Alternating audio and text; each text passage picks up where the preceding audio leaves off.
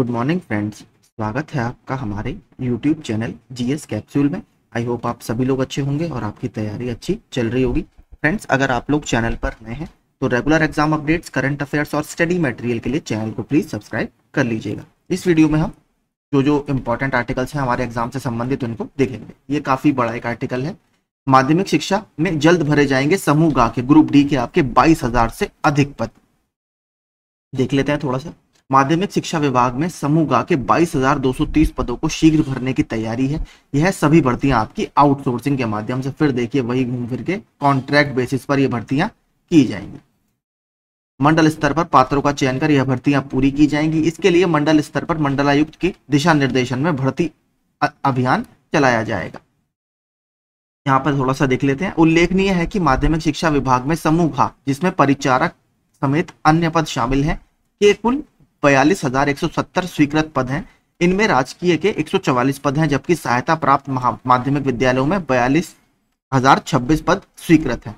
इन स्वीकृत पदों में 50 फ़ीसदी से भी कम, कुल उन्नीस हज़ार आठ सौ चौहत्तर पद सहायक, सहायता प्राप्त माध्यमिक विद्यालयों और छियासठ पद परिचारक अथवा समूह घा के भरे हुए हैं। तो अब देखिए, ये फिर से वही आउटसोर्सिंग वाला रेगुलर भर्ती तो आ नहीं रही है, सारी कॉन्ट्रैक्ट बेसिस पर वही दस पंद्रह हज़ार रुपए में ये लोग भर्ती कर रहे हैं। परीक्षा नियंत्रक पर कार्यवाही की तैयारी वही देखिए जो पीसीएस जे का मामला है। उसमें अब जो एग्जामिनेशन कंट्रोलर थे उस समय उनके ऊपर भी घास गिरने की तैयारी हो रही है। उत्तर पुस्तिका बदले जाने में तीन ऑलरेडी हो चुके हैं निलंबित। आयोग का मानना है कि हुई है मानवीय भूल।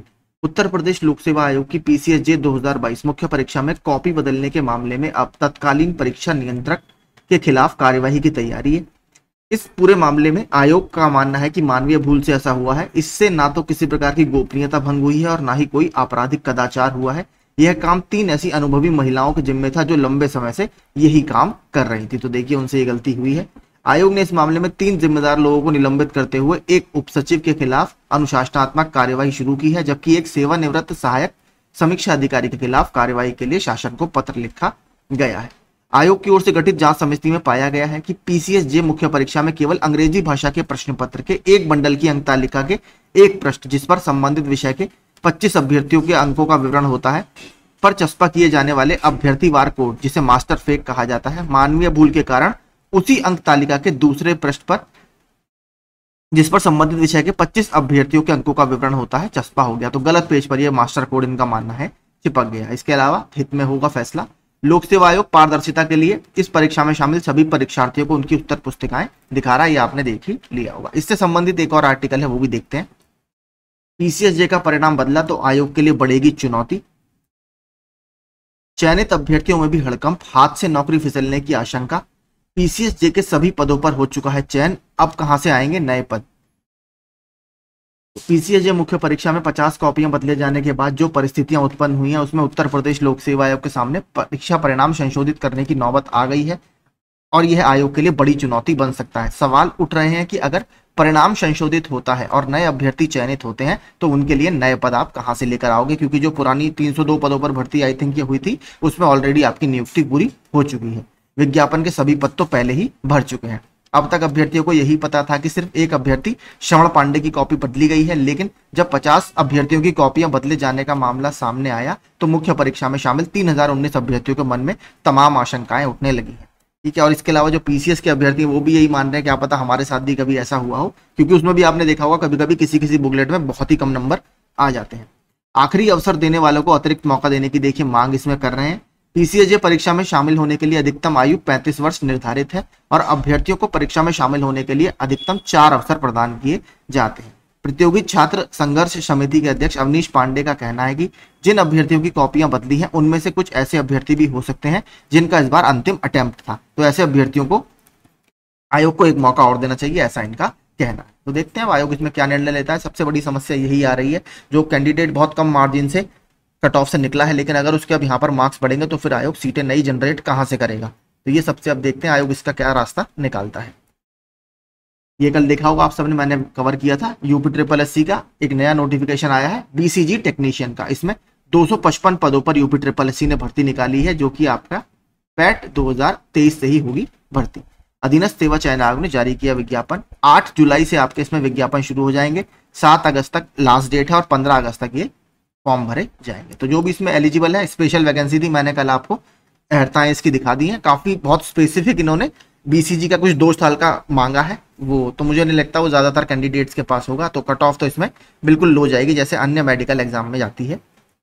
तो जो भी एलिजिबल है, लेकिन इस फॉर्म को आठ जुलाई से आप भर सकते हैं। लेखपाल का विज्ञापन का सब इंतज़ार कर रहे हैं, लेकिन अभी तक वो विज्ञापन आयोग ने जारी नहीं किया। अब आयोग के पास होगी मुख्य परीक्षा के हर अभ्यर्थी की हैंडराइटिंग तो ये एक न्यूज़ है इंपॉर्टेंट पीसीएसजे मुख्य परीक्षा 2022 में अभ्यर्थियों की कॉपियों में। अदला बदली पकड़े जाने के बाद उत्तर प्रदेश लोक सेवा आयोग ने उन सभी अभ्यर्थियों की हैंडराइटिंग को संरक्षित करने का निर्णय लिया है जो मुख्य परीक्षाओं में शामिल होते हैं। तो एक ये थोड़ा सा इन्होंने नया तरीका निकाला है। अब देखते हैं कितना इससे प्रभाव पड़ेगा, लेकिन इस बार जो विवाद खड़ा हुआ है, उससे कहीं ना कहीं आयोग की साख प्रभावित हो रही है। अगस्त में नीट पीजी संभव घोषणा इसी सप्ताह तो आपका जो नीट का पीजी का एग्ज़ाम पोस्टपोन कर दिया गया था, जिसमें एक आता है कि इसके लीक होने की आशंका है।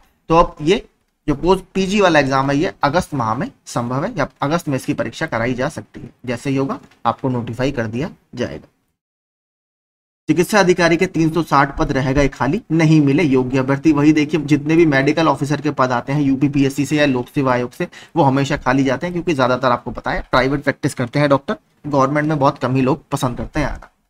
उत्तर प्रदेश लोक सेवा आयोग ने चिकित्सा, स्वास्थ्य एवं परिवार कल्याण विभाग के तहत चिकित्सा अधिकारी ग्रेड तो जनरल सर्जन के चार सौ ग्यारह पदों पर सीधी भर्ती का परिणाम मंगलवार को घोषित कर दिया। सिर्फ़ इक्यावन पदों पर ही चयन हो चुका है तो आप देख लीजिए 411 में से मात्र इक्यावन पोस्ट आपकी भरी गई हैं, बाकी 360 पद आपके इसमें खाली चले गए हैं। खास बात यह है कि जिन इक्यावन पदों पर चयन हुआ है, वो सभी पद आपके अनारक्षित श्रेणी के हैं। आरक्षित श्रेणी के एक पद के लिए कोई भी योग्य अभ्यर्थी नहीं मिला है। तो जितनी रिज़र्व कैटेगरी थी, उसमें कोई भी पद यहाँ पर आपका या सुटेबल कैंडिडेट आयोग को नहीं मिला। तो यही देखिए, आज के सारे इंपॉर्टेंट अपडेट्स थे। बाकी कोई और इंपॉर्टेंट अपडेट आएगा, मैं आपको बता दूँगा। बाकी आपने देख लिया होगा कॉज लिस्ट हमारी आ चुकी है। लेखपाल वाले एग्ज़ाम जो कोर्ट केस है, माफ़ कीजिए, उसकी और साठ नंबर पर आपका केस लगा हुआ है। तो उसके बारे में भी जो भी होगा, मैं आपको आगे अपडेट्स देता रहूँगा। चैनल पर नए हैं तो प्लीज़ रेगुलर अपडेट्स के लिए चैनल से जुड़ जाइए। धन्यवाद।